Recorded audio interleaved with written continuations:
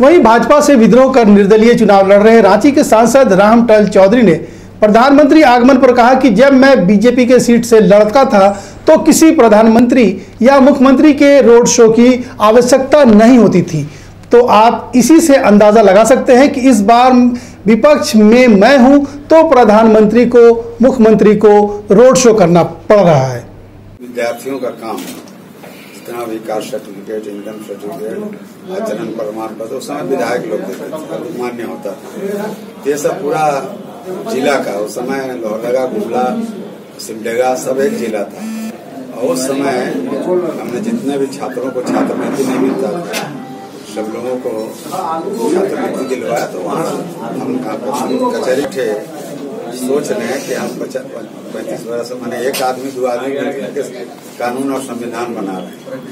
तो ये स्थिति रहा है और जब हमको कहा गया कि आप सुरक्षा से लिख लीजिए कि हम चुनाव नहीं लड़ेंगे, हमको मन में बड़ी पीड़ा हो क्योंकि इतना दिन से हम सींच रहे हैं।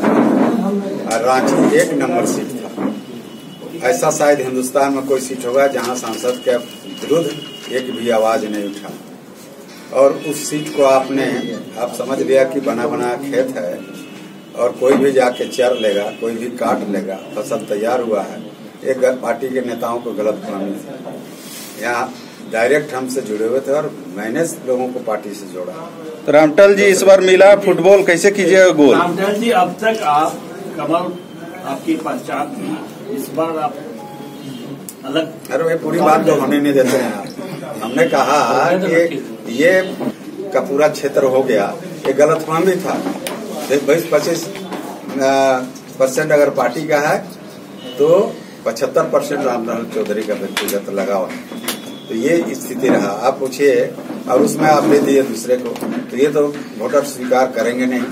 अगर लोग जुड़ते हैं तो आदमी देख के जुड़ते हैं। इसलिए पार्टी को अगर बनाता है तो व्यक्ति बनाता है। व्यक्ति अच्छे रहते हैं, कार्यकर्ता अच्छा रहता है तो उसका जुड़ता है। और गड़बड़ रहता है तो उसका परिणाम भी गड़बड़ होता है। तो ये स्थिति रहा है। हाँ क्या